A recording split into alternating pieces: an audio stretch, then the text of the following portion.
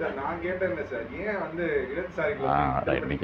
அப்படின்னு. சரிதான். இதுக்கு ஏற்கனவே இதுக்கு பதில் சொல்லியிருக்கேன். திரும்ப சொன்ன சொல்கிறது கூறியது கூறல் குற்றம் தான் தொல்காப்பியம் சொல்லுது. பரவாயில்ல. அது அந்த குற்றத்தை தொடர்ந்து வந்து நம்ம வந்து செய்யலாம். வணக்கம் சோகத் உட்காந்து ஒரு ஏன் இடதுசாரிகளை இப்படி நீங்கள் விமர்சனம் பண்ணீர்கள் அல்லது பகுதி செய்கிறீர்கள் அப்படின்றதுக்கு ரொம்ப முக்கியமான நான் என்ன நம்புறேன்னா தோழர் தியாகு இருக்கார். தோழர் தியாகுடைய புத்தகத்தில் ஒரு சம்பவம் இருக்கும் தோழர் தியாகு அவருடைய அனிகிலேஷனுக்காக கைது செய்யப்பட்டு ஆயிரத்தி தொள்ளாயிரத்தி அறுபத்தி ஒம்பது அறுபத்தி ஒம்போதில் புதுக்கோட்டை கிளை சிறையில் சட்டவிரோதமாக வச்சுருக்காங்க.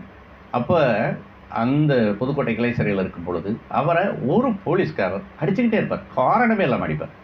எந்த காரணமும் இல்லாமல் அடிப்பார். தியாகுக்கே புரியாது. ஏன் அடிக்கிறான்னு தெரியாது. அவருக்கு ஒன்றும் புரியாமல் அவர் கூட லெனின் அவருடைய அந்த வழக்கில் இருக்கக்கூடியவர். அவரை கூப்பிட்டு தியாகு கேட்பார். லெனின் இந்த போலீஸ்காரன் என்னை ஏன் சும்மா அடிச்சுட்டே இருக்காது என்னன்னு கொஞ்சம் விசாரி அப்படின்வார் லெனின் போய் விசாரிச்சுட்டு ஒரு பயங்கரமான ஒரு உண்மை சொல்வார் தியாகராசா அந்த போலீஸ்காரன் கண்டுபிடிச்சிட்டானா?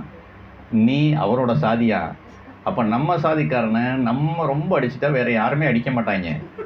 அதனால தான் அவன் உன்னை போட்டு இப்படி அடிக்கிறானான்னு சொல்லுவார். கிட்டத்தட்ட பராசக்தி பாணியில் சொன்னால் அதே அணுகுமுறையை தான் நானும் பின்பற்றுகிறேன். நான் இதை செய்யவில்லை என்றால் வேறு யாராவது செய்வார்கள் அதற்கு நானே செய்து விடுவது நல்லது அப்படின்னு கருதுகிறேன் ஏன்னா நான் அவங்களுடைய அணுக்கமான ஒரு ஆள். நான் இடசர அமைப்பில் அவங்களோட இல்லை. ஆனால் ஒரு பத்து பதிமூணு வருஷம் நான் அவங்களோட இருந்திருக்கேன். அப்போ நான் அந்த ஞானகுத்தனோட ஒரு கவிதை இருக்குல்ல தாய்ப்பாலை போல் தாய் பொய்யை நிறுத்தலாகமோ உன்மகன் உன்னை விட்டால் வேற எங்கு பெறுவான் பொய்களை? என்ற மாதிரி அப்புறம் நான் செய்யலைன்னா இன்னும் ரொம்ப மோசமாக ஏதோ ஒன்று வரும். அதுக்கு முதல் நம்மளே செஞ்சிட்டோம்னா ரொம்ப நல்லது. ஆக அதுதான் அதனுடைய அணுகுமுறை. சினிமா பஞ்ச் டைலாக் வந்து எடுத்து ரெஃபரன்ஸாக கொடுத்தது வந்து ரொம்ப ரொம்ப அப்பாடா பரவாயில்ல இப்போ இலக்கியத்தில் இருக்கு ஏன்னா இருக்கு நீங்க சொல்லும்போது நான் அதுதான் பஞ்ச் பண்ணேன். பஞ்சு டயலாக்ன்றதை விட சினிமாவில் நல்ல தருணங்கள் இருக்குது நீங்கள் அதை விட அதை சொல்கிறதுக்கு வந்து வேறு வழியே இல்லை. எனக்கு வந்து இந்த இது இருக்குல்ல பழைய படம் அலைய அடிக்கிற கைதான் நினைக்கும். அது என்ன படம்? ரொம்ப புல்வற்ற பாட்டு. இல்லை இல்லை இல்லை இல்லை. கைதி இல்லை இல்லை இல்லை. என்ன கூண்டுக்கு எந்த கிளி? என்ன கிளி? கூண்டு கிளி இல்லை. வண்ணக்கிளி. ம். வண்ணக்கிளியில் ஒரு சம்பவம் வருங்க. நான் நல்ல கருப்பு வெள்ளை சினிமா நல்லா பார்ப்பேன். ரொம்ப சந்தோஷமாக பார்ப்பேன். நான் இன்னைக்கு வரைக்கும் அது மாதிரியான மகிழ்ச்சி வேறு ஒன்றும் கிடையாது. அவ்வளோ சந்தோஷம். அவ்வளோ இருக்குது செல்வம். ஒரு வகையில் நம்மளுடைய கடந்த காலத்தின் செல்வம். நம்ம அதெல்லாம் பார்க்குறதே இல்லை. கருப்பு சினிமா அதிலும் குறிப்பாக நான் சிவாஜி கணேசனுடைய வெறித்தனமான ரசிகன் நாங்களாம் ரொம்ப செல்லமாக பெரியப்பான்னு தான் அவர் வந்து சொல்லுவோம் அவருடைய பயங்கரமான ஒரு ரசிகன். அப்போ அதில் வந்து தருணங்கள் இருக்குல்ல ரொம்ப அபாரமான தருணங்கள் இருக்குது அந்த இதில் வந்து வரும். இதில் வண்ணக்கிளியில். ஆர்எஸ் மனோகர் உள்ளூரில் ரவுடி. கிராமத்தில். அந்த ஊரில் வெளியிலேருந்து வந்த ஒருத்தன் ஒரு பிள்ளையை கையை பிடிச்சி இழுத்துருவான். அப்போ ஆர்எஸ் மனோகர் அவனை பிடிச்சி அடிக்கிறப்ப பலான்னு ஒரு அறை விட்டுட்டு ஒரு டைலாக் சொல்லுவார். அதுக்கு தான் நாங்கள் இருக்கம்பலன்னு வரும் இதை நீங்கள் எங்கே வேணாலும் சொல்லலாம். எங்கே வேணாலும் நீங்கள் பயன்படுத்தலாம். ஆக ஒரு ஒரு தருணத்தை சொல்வதற்கு சினி அப்புறம் பொது ஓர்மைக்கு ஒரு பொது ஜனத்தினுடைய ஒரு பொது உளவியலுடைய ஓர்மையில் அது ரொம்ப இருக்கும். இல்லைனாலும் அதை நம்ம திரும்ப திரும்ப சொல்லித்தான் கொண்டு வரோம். நான் தான் எனக்கு தெரிஞ்சு இயக்குனர் மணிநாதனுக்கு பிறகு இது தேர்தல் நேரம் தமிழ் செல்வன் நம்ம ரொம்ப நேரம் கையை பிடிச்சது கூட நான் தான் சொல்லிகிட்டே இருக்கேன் இன்றைக்கி வரைக்கும். எனக்கு அதில் சந்தோஷம் தான். ஏன்னா அது விட்ட ஒரு பிரமாதமான ஒரு தருணம். அப்போ இந்த தருணத்தை மறுபடி மறுபடியும் மீட்டி பார்க்கறதுன்னு ஒன்று இருக்குல்ல இதில் பாசமலரில் டைலாக் இருக்கும். அந்த வீட்டில் இருக்கும் அத்தனை விளக்குகளும் அணைக்கப்பட்டிருந்தாலும் ஒரு உருவம் மாத்திரம் ஓடி ஆடி வேலை செய்து கொண்டிருக்கும். அந்த உருவத்தின் பெயர் தான் ராசசேகர் அப்படின்வார் ராஜசேகரனே சொல்ல மாட்டார்.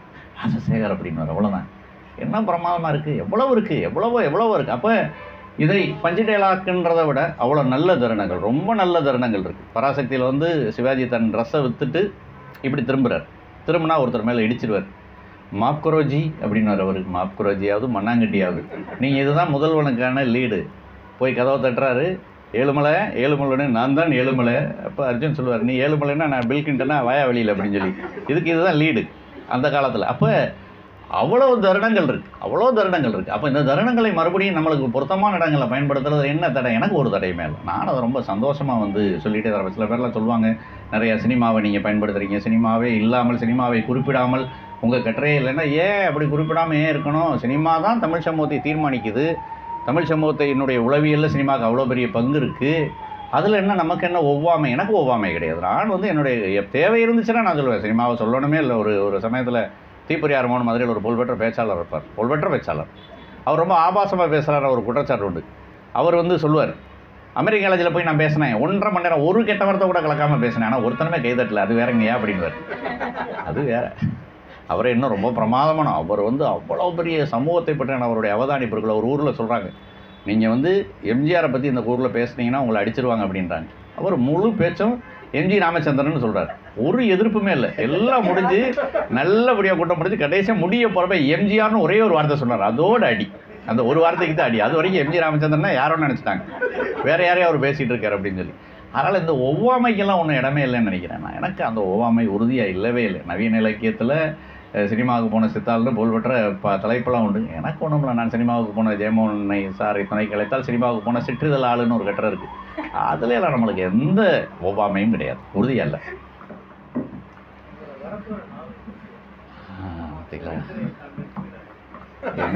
என்ன என்ன இல்லை இல்லை அப்படி இல்லை பத்து அதாவது வரப்போகிற நாவல் ஆயிரத்தி தொள்ளாயிரத்தி எழுபதுலேருந்து ரெண்டாயிரம் வரைக்கும் அதனுடைய காலம்.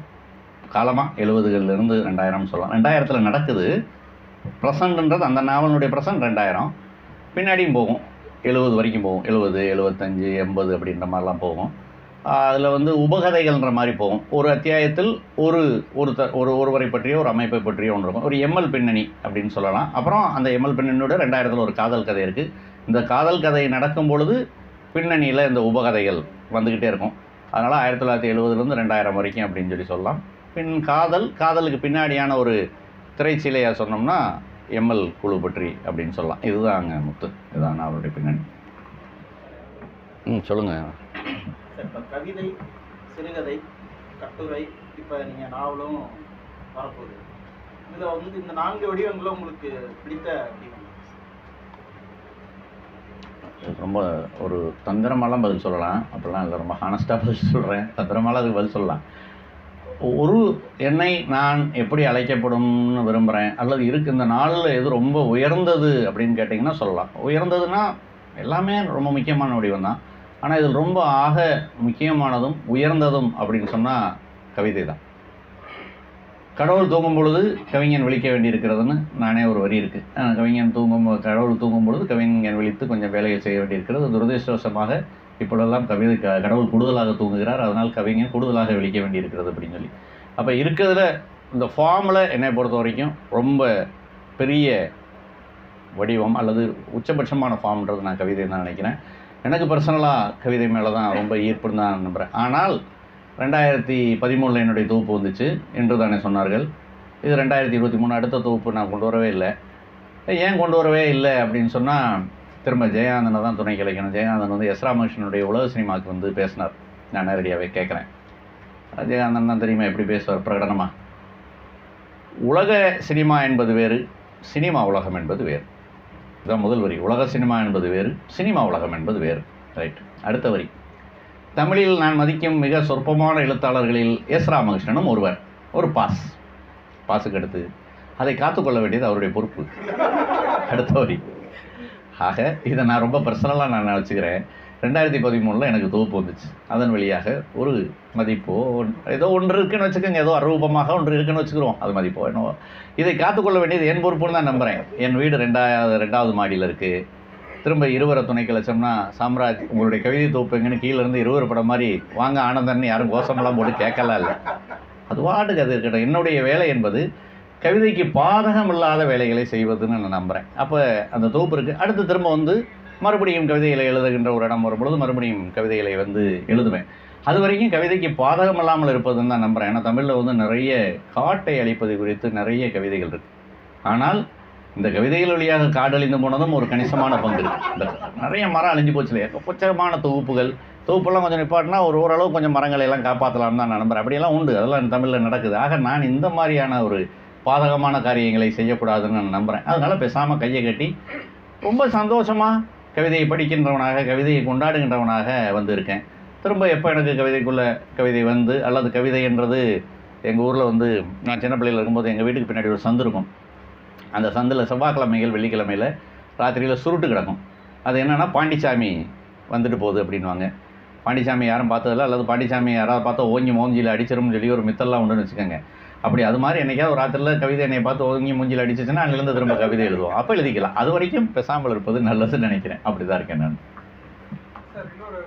சொல்லுங்கள் நிறைய பயணங்கள்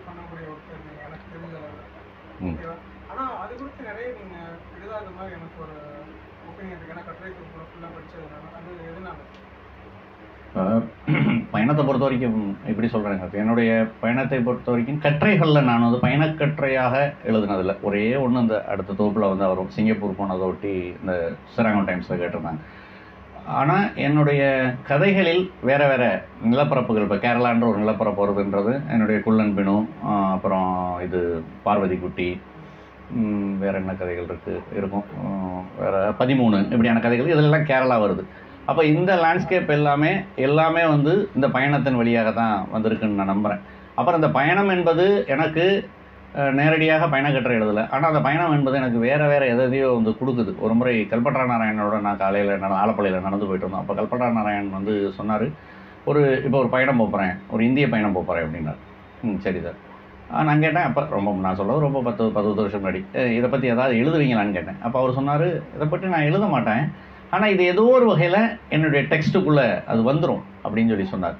நான் அப்படி தான் நம்புகிறேன் என் கருத்து எனக்கு வந்து என் டெக்ஸ்ட்டுக்குள்ளே வர்றதுக்கு எங்கெங்கேயோ நான் அலைந்ததும் தெரிந்ததும் எல்லாம் சேர்ந்து தான் நான் நம்புகிறேன் இந்த பயணக்கட்டுரையாக நான் எழுதலை. என்னுடைய நாவலில் ஒருவேளை நீங்கள் இப்போ கேட்குற கேள்விக்கு என்னுடைய நாவல் ஒருவேளை பதில் சொல்ல முடியும். நாவலில் பெரிய அலைச்சல் இருக்குது தமிழ்நாடு பூரா இருக்குது கேரளா இருக்குது அப்படி இருக்குது அப்போ அதை வந்து நான் ஒரு ஃபிக்ஷனாக கொண்டு வரதுல தான் எனக்கு கொஞ்சம் கூடுதலான ஆர்வம். நேரடியாக பயணக்கட்டுரை எழுதுறதுன்னா எழுதலாம். இப்போ ரொம்ப வெற்றிகரமாக பயணக்கட்டுரை எழுதக்கூடியவங்கெல்லாம் தமிழில் இருக்காங்க. ஜெயமோகன் சார் இருக்கார். பழைய சில கேதார யாத்திரைன்னு ஒரு புத்தகம்லாம் படித்தேன் அவினாசிலிங்கம் யார்? அந்த கோயம்புத்தூரில் பெரிய புகழ்பெற்ற தொழில் ரொம்ப பிரமாதம் எழுதியிருப்பார். இப்போ கூட இன்னொரு புத்தகம் படிச்சிருக்கேன். எனது இலங்கை பயணம் சொல்லி திருவிக்காவுடைய ஒரு புத்தகம் இருக்குது ரொம்ப ரொம்ப பிரமாதமாக இருக்கும். ரொம்ப நல்லா இருக்கும் உண்மையிலேயே. அவ்வளோ துல்லியமாக வந்து திருவிக்கா வந்து சொல்கிறாரு என்ன மாதிரியான கிளாஸ் இருந்துச்சு? எப்படி வந்து கூட்டிகிட்டு போனாங்க? என்னன்றதை பற்றி ஆக இந்த பயணம் அப்படிப்பட்ட பயண நூல்கள் எழுதுறதுன்றது எழுதுனோம்னா அதில் சில பேர் தான் ரொம்ப ரொம்ப ரொம்ப நல்லா எழுதுறாங்க. அது ஜெயமோகன் சாரை தான் நான் அதை சொல்லுவேன் ரொம்ப பிரமாதமாக வந்து எழுதுவார். அதுக்கு முன்னாடி சுஜாதாவுடைய ஒரு பழைய கட்டர் இருக்குது ரெண்டாயிரம் கிலோமீட்டர் தமிழ்நாடுன்னு ஒரு கட்டர். ஆயிரத்தி தொள்ளாயிரத்தி எண்பதில் அவர் வந்து ஒரு காரில் வந்து தமிழ்நாடு புறம் போயிருப்பார். மிஸ் தமிழ் தாய நமஸ்காரத்தில் வரும். உண்மையாகவே அது ஒரு அவர் தானே. அவருக்கு என்ன ராசா? பழனி போகிறத பற்றிலாம் சொல்லுவார் பழனியில். அச்சு அசலான தமிழ் கடவுள் முருகன் தான். காசு கொடுத்தவுடன் உடனே திரையை விலக்கி விட்டார்கள். அப்படி அப்படியே போகும். அது வந்து மலை மேலே போய் ஊட்டிக்கு போய் கார் ரிப்பேர் ஆகி அந்த டிரைவர் வந்து பேனட்டை திறந்து பார்ப்பாரு பார்த்தா அப்புறம் டிரைவரை காணா. அவர் பையன் கேட்பான் எங்கேப்பா டிரைவர்னு அவர் குறுக்கு வழியில் வந்து கீழே போயிட்டார் நினைக்கிறேன்டா வண்டியை சரி பண்ணுறதுக்காக அப்படின்னு சொல்லின்னு ஒரே சந்தோஷமாக எழுதியிருப்பார். எண்பதுகளில் அப்படி போகிறார் அப்படி ரொம்ப ஆர்வமூட்டக்கூடிய பயணக்கட்டுரைகள்ன்றது இப்போ ஜெயமோகன் சார் எழுதும்போது அவர் வரலாறு அந்த நிலத்தினுடைய வரலாறு அதனுடைய துன்பம் எல்லாத்தையும் சேர்த்து சொல்கிறவராக வந்து மாறுறார். அப்படி எழுதும்போது அதுக்கு ஒரு வேற ஒரு பயன் மதிப்பு வருது நம்புகிறேன் அதனால் நான் நேரடியாக பயணக்கட்டுரையாக எழுதுனதே இல்லை. என்னுடைய ஃபிக்ஷனில் வருதுன்னு நினைக்கிறேன். திரும்ப திரும்ப என்னோட ஃபிக்ஷனில் வேறு வேறு வடிவத்தில் வேறு வேறு மாறு வேஷத்தில் வருது. கேரளாவை நான் எப்போயுமே கேரளாவை எழுதி பார்ப்பது என்னை பொறுத்த வரைக்கும் ஒரு பெரிய சவாலாக தான் நினைப்பேன் கொச்சினை எழுதிடணும் அல்லது மொத்த கேரளத்தில் நான் பார்த்த இடங்களை பற்றி வேறு வேறு திருவனந்தபுரத்தை பற்றி எழுதுறதா என்னுடைய அனந்த சேனபுரி கதை. மொத்த திருவனந்தபுரத்தையும் அப்படியே அலைஞ்சு தெரிகிறது அல்ல அப்படி தான் நான் பயணத்தை வந்து எழுதுகிறேன் கார்த்தி இன்னொன்று என்ன கேட்டீங்க? எழுதாம நினைச்சு விட்ட விஷயம் எதுவும் இருக்கா? சார் வேணாம் அப்புறம் பார்த்துக்கலாம் அப்படின்னு சொல்லிட்டு. ஏன்னா ஆல்மோஸ்ட் புத்தகங்கள் குறித்து கவிதைகள் ஆளுமைகள் குறித்து ரெண்டு தொகுப்புகளுமே நிறைய எழுதியாச்சு. ஏதாவது ஒரு விஷயம் அப்புறம் எழுதலாம் அப்படின்னு விட்ட மாதிரி இருக்கும் இது ஒரு ப- தமிழ் ஒரு புல்வெற்ற கவிஞர் இருப்பார். அவர்கிட்ட கேட்பாங்க உங்கள் படைப்புகளில் நிறைவு தருவது எது? அடுத்து எழுதப்போவது அப்படின்னாரு அது மாதிரி யாருக்கு தான் நிறைய இருக்குது கருத்து எழுதாததுன்னா எவ்வளவு இருக்குது பழைய இன்குலாப் கவிதையை தான் துணைக்கு கிளைக்கணும் நான் என்ன எழுதினேன் இளைஞர்களின் வெளியில் இருக்கும் கோபத்தை மொழிபெயர்த்தேன் அப்படின்னு வரும். எழுதுறதுக்கு எக்கச்சக்கமாக இருக்குது ரொம்ப உண்மையாக சொன்னால் நான் தான் வேலை பார்க்கணும். நான் தான் நிறைய எழுதணும். எழுதுவதற்கு அவ்வளோ விஷயம் இருக்குது நான் எழுதாமல் இருப்பதற்கும் எழுதுவதற்கும் சாம்ராஜ்யன்றி வேறு ஒன்றும் காரணமே இல்லை. அதனால் எழுத வேண்டிய விஷயம்னா நிறைய இருக்குது இப்போ எப்படி சொல்கிறேன் ஆனந்தரங்கம்பள்ளி டைரியில் பற்றி பத்து டைரியை பற்றியுமே பத்து வால்யூமை பற்றி எழுதணும்னு நினைக்கிறேன். ஒரு பெரிய வேலை இன்னொரு இன்னொரு முக்கியமான விஷயம் ஒரு ஒரு புத்தகத்தை பற்றி எழுதுறது இப்போ திரும்ப திரும்ப நம்ம இங்கே பேசும்போது எல்லாருமே சொன்னாங்க இங்கே உரையாக கேட்டிருக்கோம். அதனுடைய கட்டுரை வடிவம். இப்படி தான் நான் சொல்லுவேன் நான் வந்து ரிவர்ஸில் தான் வேலை பார்க்குறேன். நான் முதல் ஒரு கட்டுரையாக எழுதிடுறேன். கட்டுரையாக எழுதிட்டு தான் ஒரு இடத்துக்கு பேச போகிறேன் அது முதலாவதாக அதில் ஓப்பி அடிப்பதை வந்து தவிர்க்குது தமிழில் ஏன் மேடை பேச்சுகள் ரொம்ப மோசமாக போச்சு? இலக்கிய கூட்டங்கள் ஏன் ஒன்றுமே இல்லாமல் சாரமற்று போச்சுன்னா இந்த மேடை உரை சம்பந்தமாக தமிழ் நவீன இலக்கியத்துக்கு ஒரு பெரிய இலக்காரம் இருக்குது அது எதனுடைய நீட்சினா திராவிட இயக்க எதிர்ப்பினுடைய நீட்சியாக மேடையில் பேசுவதை ஒரு விதமான இழிவாக கருதுவது. நான் அப்படி நினைக்கவே இல்லை. இது ஒரு பய பிரமாதமான ஒரு ஃபார்ம் இந்த பிரமாதமான ஃபார்மை நீங்கள் வந்து கைகொள்ளணும்னா அதுக்கு உழைக்கணும். வேறு ஒன்றுமே இல்லை. வேறு எதுவுமே கிடையாது. ச சொர்க்கத்துக்கு போகணுமா நரகத்துக்கு போகணுமானா அதுக்கு முதல் நிபந்தனை சாகணும்.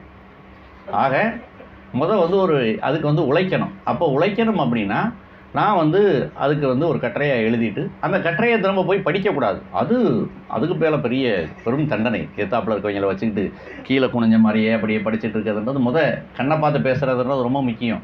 ஒரு கனெக்டிவிட்டி இருக்குது அது ஒரு ஃபார்மு மலையாளத்தில் சாக்கியார் கூத்துன்னு ஒன்று இருக்கும். பார்த்துருக்கீங்களா? அப்படியே பேசிகிட்டே போவார். சாக்கியார் பேசிகிட்டே போவார். திடீர்னு பார்த்தா அப்படியே ரஃபீக்கை உள்ளே அழைச்சிடும் அங்கே இருக்க பாருங்க ரஃபீக் அடுத்த ஸ்கிரிப்ட் என்னன்னு யோசிச்சுக்கிட்டு இருக்காருன்னு ரஃபீக் அந்த கூட்டத்தை விட்டு எந்திரிச்சு போக முடியாது. இதே முறையே தீபுரியாரமும் மதுரையில் மேடையில் வந்து சொல்லுவார். அந்த காலத்தில் அவர் மேடையில் நின்று இப்போ நான் ஒரு கதாநாயகனை திட்ட போகிறேன் அவன் மெண்டல் பையன். இப்போ எந்திரிச்சு போகிற முறை அவனோட ரசிகனோடனே எந்திரிச்சு முறை அப்படியே உட்காந்துருவாங்க. ஏன்னா தெரிஞ்சு போயிருமே. எந்திரிக்கவே முடியாது.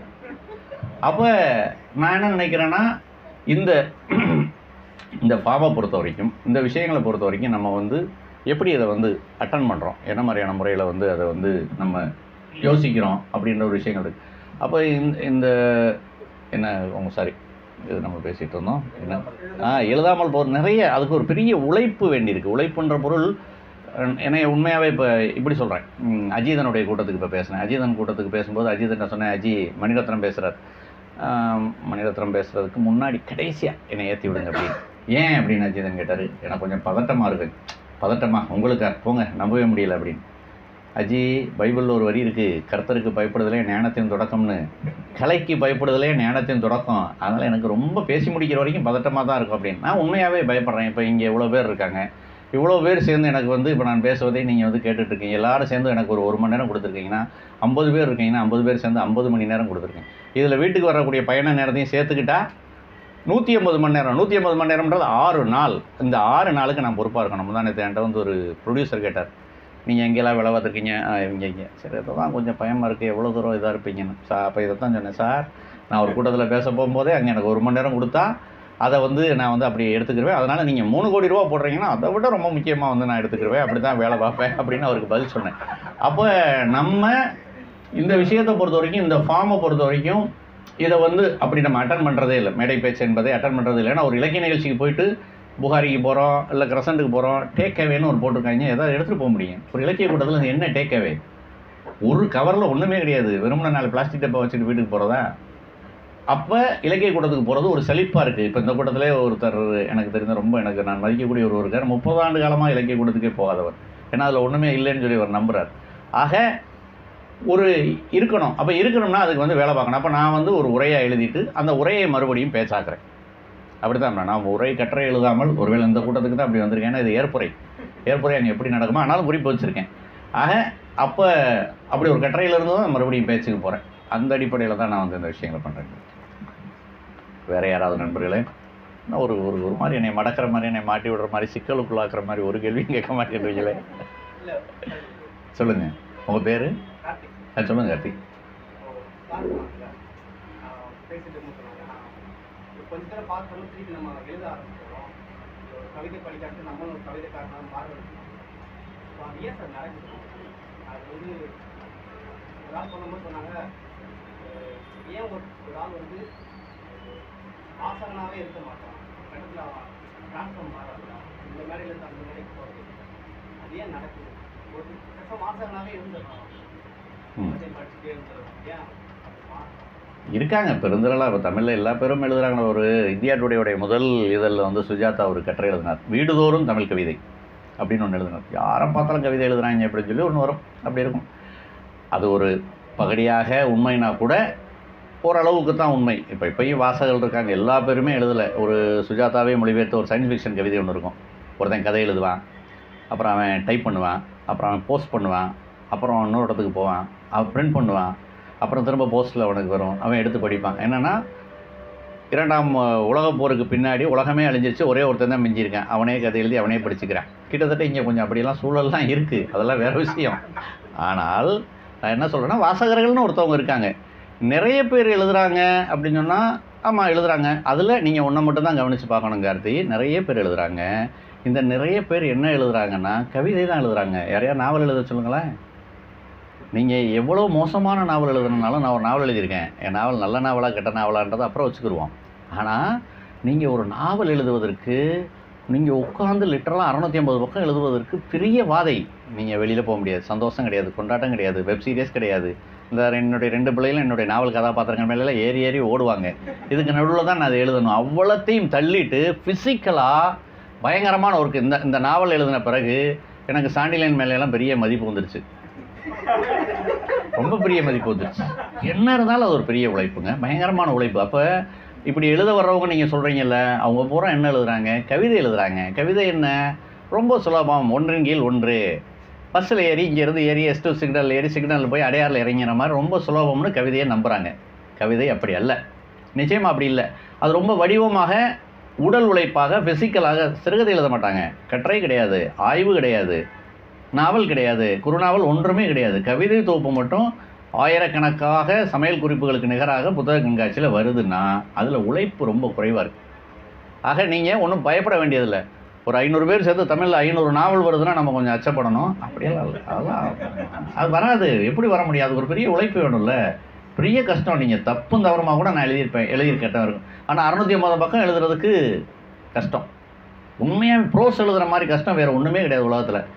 அதில் சந்தோஷம் ஒன்று இருக்குது அது வேறு. அந்த சந்தோஷம்ன்றது நான் இப்படி ஒரு ஒரு பொயட்டாகவும் இருந்திருக்கேன் ஒரு கட்டுரையாளனாகவும் இருக்கேன் சிறுகதை ஆசிரியனாகவும் இருக்கேன். ஒரு நாவல் எழுதும் பொழுது அனுபவிக்கக்கூடிய ஒரு சந்தோஷம் இருக்குது நீங்கள் ஒரு மெய்நிகராக வேறொரு வாழ்க்கையை வந்து வாழ்வீங்க. அந்த சந்தோஷத்துக்காக ஒருத்தன் நாவல் எழுதணும். அது ரொம்ப மகத்தான சந்தோஷம். ஆனால் அது பயங்கரமான அதாவது சொர்க்கத்துக்கு வழி நரகம். வழி போடுறாங்கல்ல. மயிலாப்பூர் வழியாக போய் பாரிஸ் போகிற மாதிரி சொர்க்கத்துக்கு வழி நரகம்ன்ற மாதிரி அது பெரிய வாதை ஆனால் அந்த வாதையில் ஒரு சந்தோஷம் இருக்குது ஒரு பெரிய மெய்நிகர் அனுபவம் வந்து உங்களுக்கு வந்து கிடைக்கும். ஆனால் அதுக்கு அதுதான் வழி. ரொம்ப கஷ்டம். அதனால் ஒன்றும் நம்ம வந்து அதுக்கு பயப்படுறதுக்கோ வருத்தப்படுறதுக்கோ ஒன்றும் அதை பார்த்து அப்போல்லாம் பயப்பட வேண்டியதில்லை. வந்து கவிதை வந்துக்கிட்டே தான் இருக்கும். ஐநூறு ஆயிரம் தொகுப்புகள்னு வருஷம் வருஷம் வந்துக்கிட்டே இருக்கும். அதில் என்ன நிற்கும் ஏதோ ஒன்று தான் நிற்கும் பத்து நிற்கும் உண்மையாகவே நல்லா இருந்த கவிதைகள்லாம் நிற்க போகுது. அதனால் எல்லாருமே எழுத்தாளர்கள் ஆயிட போகிறதில்லை எல்லாருமே ஆனாலும் பயப்பட வேண்டியதில்லை. அதில் எது நிற்க வேண்டுமோ உண்மையாகவே என்ன தகுதி இருக்கோ அதுதான் வந்து நிற்கும் உங்கள் உங்கள் காதலையோ என் காதலையோ செவிவழி செய்தியாக ஏதோ ஒன்று நல்லா இருக்குன்னு யாரோ சொன்ன பிறகு தான் அதை நம்ம படிக்க ஆரம்பிக்கும் சும்மா படிச்சிடறதில்ல இல்லை நம்ம. அப்போ அந்த காலத்தை மீறி நிற்பதற்கு அதுக்கு தகுதி இருக்கணும். தஞ்சை பெரிய கோயில் பன்னெண்டு நூற்றாண்டு நிற்கிதுன்னா அது அதற்கான அவ்வளோ திடம் இருக்கனால அது நிற்கிது பன்னெண்டு நூற்றாண்டு அவ்வளோ புயல் வெள்ளம் ராஜராஜ சோழன்லாம் போய் என்ன அவரெல்லாம் பதினஞ்சு பிறவி எடுத்துட்டார். அதெல்லாம் தஞ்சை பெரிய கோயில் இருக்குது அவ்வளோதான் அதனால் பயப்படுறதுக்கு ஒன்றுமே நம்ம பயப்பட வேண்டியது ஆ மது சொல்லுங்கள் மது. சொல்லுங்கள் ம் ம்.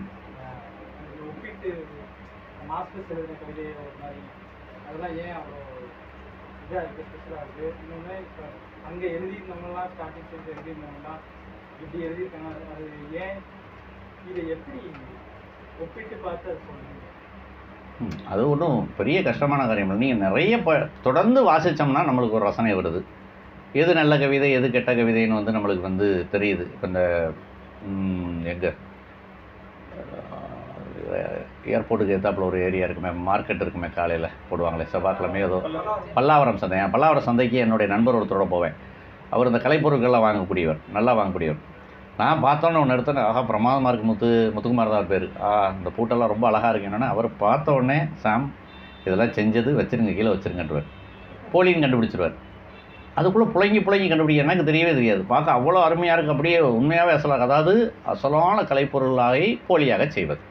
இப்படி ஒன்று இருக்குது அப்போ நீங்கள் தொடர்ந்து வாசிப்புக்குள்ளே புழங்கிக்கிட்டே இருக்கும் பொழுது உங்களுக்கு நல்ல கவிதை எது கெட்ட கவிதை? தமிழில் வந்து அவ்வளவு துஷ்பிரயோகம் செய்யப்பட்ட ஒரு வடிவம் இருக்குது ஜென் கவிதைகள்னு ஒன்று இருக்குது அது மாதிரி ஐயோ அதெல்லாம் ஜப்பானில் போய் இந்த கழுத்து அறுத்துக்கிறதுன்றது ஹராகிரி. அதெல்லாம் ஜென் கவிதை பூரா பண்ணிடுச்சு ஐக்கூ பூரா கழுத்து அறுத்துக்கிடுச்சு ஓடியே போச்சு. தமிழ்நாட்டில் தான் காரணம். ஐக்கூ செத்து போயிடுச்சுன்னா அதுக்கு தமிழ்நாட்டில் கைக்கு எழுதுனது தான் காரணம். குட்டையில் சிறுநீர் கழிக்கும் சிறுவன் சூரியனை அசைக்கிறான்னு ஒரு புகழ்பெற்ற ஐக்கூ இருக்குது பார்த்துக்கங்க. ஞாபகம் வச்சுக்கோங்க. குட்டையில் செவ்வீர் கழிக்கும் சிறுவன் சூரியனை அசைக்கிறான் இதெல்லாம் ஐக்கூ ஆக ஹைக்கூ எங்கேயாவது ஹராகிரி பண்ணிக்கிடுச்சுன்னா அதுக்கு தமிழ்நாட்டுக்கு ஒரு பெரிய பங்கு இருக்கு. ஆக நீங்கள் தொடர்ந்து அப்போ ஹையில் ஹைக்கூவில் சுஜாதா ரொம்ப பிரமாதம் சொல்ல தமிழ்நாட்டில் பொய்க்கூகள் மிகுந்து விட்டது அப்படின்வார் இந்த பொய்க்கூன்னு கண்டுபிடிக்கிறது எப்படி? உண்மையான ஹைக்கூவை நீங்கள் வாசிப்பதன் வழியாக யுவன் சந்திரசேகர் மொழிபெயர்ப்பு கொண்டு வந்தார். பெயரற்ற யாத்திரிகன். ரொம்ப பிரமாதமாக மொழிபெயர்த்து அவனுடைய இங்கிலீஷ் புலத்தையும் பக்கத்திலே போட்டிருப்பார். இதுதான் அசல் அப்படின்ற மாதிரி. அப்போ நீங்கள் எப்போ வந்து போலியையும் உண்மையையும் எப்போ நீங்கள் கண்டுபிடிப்பீங்கன்னா தொடர்ந்து அதுக்குள்ளே நீங்கள் எவ்வளோ தூரம் ஊடாடுறீங்களோ அப்போ உங்களுக்கு அது வந்துடும் அப்போ ஒரு நல்ல கவிதை மோசமான கவிதைன்றதை நீங்கள் எப்படி கண்டுபிடிக்கிறீங்கன்னா இந்த வாசிப்பின் வழியாக கண்டுபிடிங்க. அப்போ அந்த மலேசிய கவிதையை பொறுத்த வரைக்கும் அதில் எல்லாருமே வந்து இந்த பொய்க்கு வகைராக தான் எல்லா பேருமே. தஞ்சை பெரிய கோயில் வாசலில் கிளவி தமிழரின் மானம் அப்படி நம்ம அந்த பச்சை பாலன்னு ஒருத்தர் இருக்கணும் அப்படின்னா எழுதுவார்னு வச்சுக்கோங்க. ஐயோ பயங்கரம் பயங்கரம் பயங்கரம். அப்போ அப்போ இப்படி இருக்கப்ப இங்கே இன்னொரு பக்கத்தில் என்ன நடந்துட்டு எவ்வளோ முக்கியமான கவிதை. அதாவது ஒரு கவிதையை பொறுத்த வரைக்கும் உண்மையாகவே ஒருத்தர் வந்து பயப்படுறது என்னென்னா நான் எப்படி சொல்கிறேன்னா இது ஒரு மூணாயிரம் வருஷம் ராஜபாட்டை. இதில் கபிலர் போயிருக்கார் வள்ளுவர் போயிருக்கார். இவ்வளோ பெரிய பயங்கரமான சங்க பாடல்கள் இருக்குது ஔவையார் இருக்காங்க. இப்போ இவ்வளோ பேர் பயணப்பட்ட பாதையில் ஒருத்தன் போகணும்னா அவனுக்கு குறைந்தபட்சம் நடுக்கம் வேணும். இவ்வளோ மாஸ்டர்ஸ் போன பாதையில் நான் போகிறேன் அப்போ இந்த நடுக்கம் வந்துருச்சுனால இதுக்கு தான் திரும்ப சொல்கிறோம் நம்மகிட்ட என்ன செல்வம் இருக்கலாம் நம்மளுக்கு தெரிஞ்சிச்சுன்னா ஒருத்தன் உண்மையாகவே வந்து கவிதை எழுத மாட்டான். ஓஹோ உங்களை உங்களையெல்லாம் மிஞ்சி நான் ஒன்று பண்ணணும். அப்படின்னாலே ஒருத்தன் அமைதியாயிடுவான். இல்லைன்னா உருப்படியாக செய்வான் அதை இதெல்லாம் படிக்கிறேன் அப்படின்னு சொல்லி. இது எதுவுமே இல்லைன்றப்ப தான் இந்த மாதிரியான விஷயங்கள் வந்துகிட்டே இருக்குது சுலபம் சுலபம் நம்புறது அவ்வளோதான் சுலபம்னு நம்புறனாலேயே இப்போ இந்த நீங்கள் ஃபேஸ்புக் வந்த பிறகு எல்லா பேருமே தசவதாரம் கமலாசன் மாதிரி தான் அவங்களே சினிமா விமர்சகர் அவங்களே கலை விமர்சகர் அவர்களே ஓவிய விமர்சகர். அப்போ அவரே வந்து அரசியல் விமர்சகர். எல்லாருமே எல்லாமே. இந்த சின்ன பிள்ளையில நான் நினைப்பேன் ஒரு பாட்டில் எம்ஜிஆர் வந்து இங்கே பாடிட்டு போய் அங்கிட்டு போய் ட்ரெஸ் மாற்றிட்டு வந்துடுவார் நான் நினச்ச சின்ன பிள்ளை ரொம்ப நாள் நினச்சிட்டு இருந்தேன். அந்த செடி மறைவில் போய் ட்ரெஸ்ஸை மாற்றிட்டு ஓடி வந்துட்டான்னு நினச்சேன். அப்படி இல்லை. ஷார்ட்டுன்றதுல அப்புறம்லாம் தெரியும். சின்ன பிள்ளையில என்ன தெரியும்? அப்போ அது மாதிரி அப்படி போய் போய் ட்ரெஸ்ஸை மாற்றிட்டு மாற்றிட்டு ஓடி ஓடி வர்றாங்க. அப்போ இதிலெல்லாம் எப்படி வருது? எப்படி சொல்ல முடியுது? ஒன்றை பற்றி இப்போ என்னை பற்றி என்கிட்ட ஓவியம் பற்றி கேட்டிங்கன்னா நான் வந்து சொல்லாமலேலாம் கடைசி காட்சியில் வரக்கூடிய லிவிங்ஸ்டன் மாதிரி நான் கருத்துக்கிறேன். எனக்கு ஓவியம் பற்றி ஒன்றுமே தெரியாது. பேசவே கூடாது. ஓவியம் ரொம்ப முக்கியமான கலை வடிவம் அவ்வளவுதான். ஆனால் இங்கே என்ன நடக்குதுன்னா எல்லா பேரும் எல்லா வடிவமும் எடுக்கிறாங்க. தசவதாரங்க கமலாசன் பத்து பாத்திரம் தான் செஞ்சார். நூறு பாத்திரம் செய்கிறதுக்கு இங்கே ஆள் தயாராக இருக்காங்க. எல்லாம் குறித்து கருத்து சொல்கிறதுக்கு தயாராக இருக்கும். இந்த இடத்துல இருந்து தான் இந்த இந்த போலிகள் போலி கவிதைகள்ன்றது உருவாகிற இடம் வந்து வருது. அப்போ நீங்கள் ஒரு தொடர்ந்து தீவிரமான வாசிப்பின் வழி உங்களுக்கு உண்மை எது பொய் எதுன்றது உறுதியாக தெரிஞ்சிடும் ஒரு நல்வாசகனெல்லாம் ஏமாற்றலாம் முடியாதுன்னு வச்சுக்கோங்களேன். அதுல எல்லாம் வந்து பல்லாவரம் சந்தை தான். இதே மாதிரியான தெரியாதவர்கள் ஆஹா கலைப்பொருள்னு எடுக்கலாம். தெரிந்தவர் வைங்கங்க. அது பூரா பொய்ங்க. எல்லாம் பாண்டிச்சேரிலேருந்து வருதுங்கன்னு சொல்லிடுவார். வச்சிட வேண்டியதான் அது தொடர் வாசிப்பின் வழியாக தான் சாத்தியம்.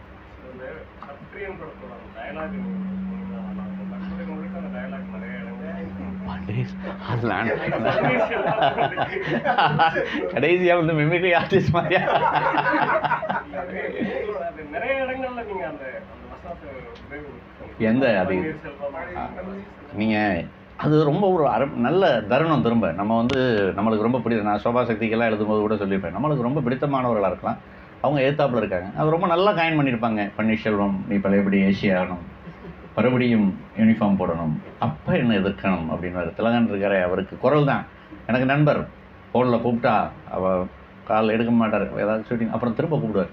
ஈ நம்பர்லேருந்து விழிச்சிருந்தல்லேன்னு அப்படியே சர்வம் நடுங்கி போயிடும் அவர் குரலில் கேட்டோம்னா எப்படி இருக்கும்? அப்படி திரும்ப கூப்பிடுவார். அப்போ அவர் ஆனால் ரொம்ப உறுதியாக ச திலகன் ஒன்று சொல்லுவார். அவர் சொந்த குரலில் தான் பேசுகிறோன்றதில் ரொம்ப உறுதியாக வந்து திலகன் இருந்தார்.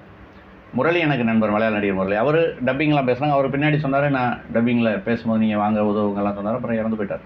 ஆனால் திலகன் ரொம்ப ஸ்ட்ராங்காக சொல்லுவார். என்னுடைய குரல் தான் நான். அந்த குரலை வந்து நான் ஒரு பொழுதும் விடவே மாட்டேன். நான் அதில் தான் பேசுவேன். என்ன இதாக இருந்தாலும் அது பரவாயில்ல அப்படின்றதுல ரொம்ப உறுதியாக இருந்தேன்னு தான் அவர் வந்து சொல்வார். ஏன்னா மலையாளத்திலேயே அவருடைய குரலுக்கு அவ்வளோ வரும் அப்புறம் ரொம்ப முக்கியமாக நம்ம திலகனை வந்து ஒரே ஒரு சத்திரியனாக மட்டும்தான் நம்ம வந்து பார்த்துருக்கோம். மலையாளத்தில் வெச டைல் பண்ணியிருப்போம் ஹியூமர் பண்ணியிருப்பாரு மூக்கட்டர் ஒரு படம் இருக்குது ஹியூமர் கொடூரமான இந்த கொடூரம்லாம் என்ன கொடூரம்? காட்டராஜான்னு ஒரு படம் இருக்குது கேபி ரா தேவ் வந்து நாடகத்தில் நடித்ததை இவர் பண்ணியிருப்பார் அவ்வளோ உக்கரமான பாத்திரமா கண்ணெழுதி பொட்டும் வச்சு வித விதமான கேரக்டர் பண்ணியிருக்கார் அப்போ திலகனெல்லாம் நம்ம ரொம்ப ரொம்ப லிமிட்டடாக ஒரு சத்திரியன் வழியாகவே மட்டும்தான் பார்க்குறோம். அப்புறம் சத்திரியன் வழியாக தேடியும் போய் பார்க்கவும் இல்லை. வேறு என்னெல்லாம் பண்ணியிருக்காரு திலகன் அப்படின்னு சொல்லி. அப்போ திலகனுடைய பலம் என்பதே அந்த டயலாக்கை அவருடைய சொந்த மொழியில் ஒரு மலையாளத்தில் நினைந்த கிட்டத்தட்ட ஒரு மார்த்தாண்டத்துலேருந்து பேசுகிற மாதிரி தான். அப்படி போனால் திருவனந்தபுரம் எங்கிட்ட வந்தால் நார்வேல் அங்கேருந்து தான் பேசுகிறார் ஆனால் அதுதான் அன்றைக்கி பயங்கரமாக ஈர்க்கிறதா மாறிடுச்சு. அதில் ஒரு ஒரு யுனிக் இருக்குல்ல. அந்த காவி வேட்டியெல்லாம் கட்டி கிட்டத்தட்ட ராஜேந்திரன் சார் மாதிரியான ஒரு கெட்டப்பில் தான் இருப்பார். முடியெல்லாம் கொஞ்சமாக வச்சு க்ளோஸாக கேட் அதனால் அது அது எனக்கு ரொம்ப பிடிக்கும். ஏன்னா நம்மளுக்கு ரொம்ப பிடிக்கிறது ஒன்று ரொம்ப பிடித்தவர்கள். ஆனால் அவங்க எதிர்த்தாப்புல நிற்கிறாங்க அதுக்கு அதை விட சொல்கிறதுக்கு வேறு என்ன இருக்குது அவ்வளோ பிரமாதமாக இருக்குது ஆனால் எனக்கு ரொம்ப பிடிக்கும் பன்னீர்செல்வம். ஆனால் நீ யூனிஃபார்ம் போட்டு எதிர்த்தாப்புல நிற்கிறன்றப்ப அது சொல்லக்கூடியது நம்மளுக்கு நிறைய இல்லை. அப்படி. ஓகே. ஓகே நன்றி. வேறு ஏதாவது கடைசியாக கேட்குறதுனா கேட்டுருங்க. முடிய போது இன்றைய படம் கடைசி மாதிரி. கவிதை கவிதை பற்றின கட்டுரைகள்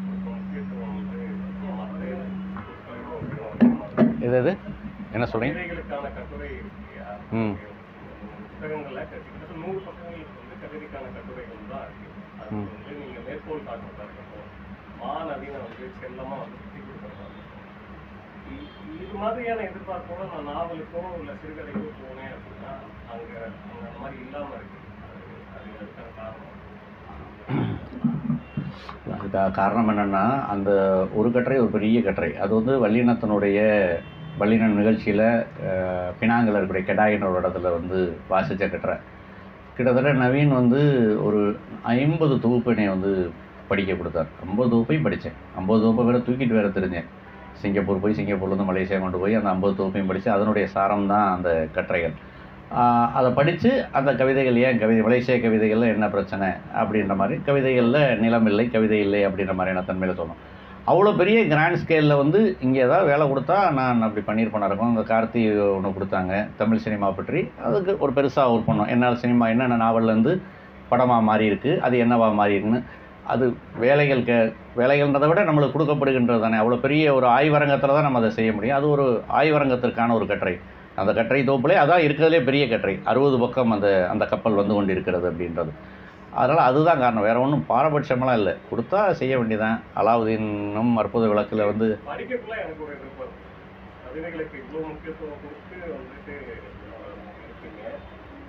மேற்கோள் காட்டுற பெரிய கவிஞர்கள் எல்லாம் இருக்காங்க. இதே நடை வந்துட்டு சிறுகதைகளுக்கும் நாவல்களுக்கும் தொடரும் ஆக்சுவலாக ஆக்சுவலாக என்னன்னா கவிதைகளை விமர்சனம் பண்ணுறவங்க இங்கே கிடையாது. கவிதைகளுக்கான விமர்சகர்கள் கிடையாது. சரியான விமர்சகர்கள் இல்லை. சொல்லப்போனால் இல்லவே இல்லை. அது இதில் வந்து அதிகமாக இருக்கு. அந்த அதிகமாக அந்த விஷயத்தில் அவ்வளோ கவிதைகளை போட்டு அடைக்க வேண்டியதில்லை.